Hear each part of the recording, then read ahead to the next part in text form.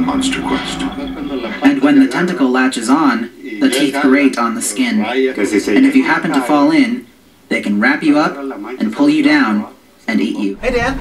I was hoping you could go down to records and get the next batch of case files. I'm busy. Can you come back later?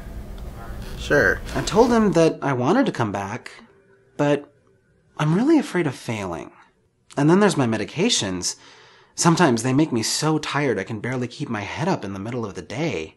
Now, this is the third time I've caught you talking in the hallways before class.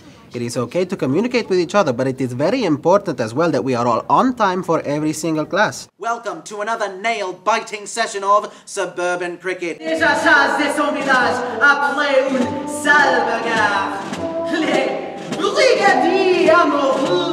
a fast runner got me out of a lot of trouble.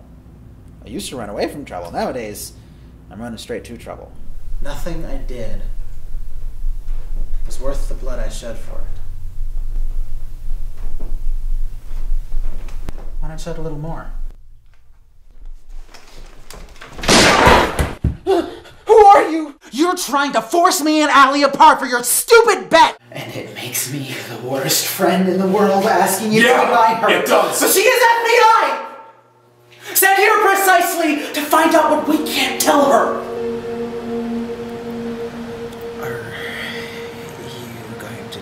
I won't tell a soul. Because it's not up to me to make things right.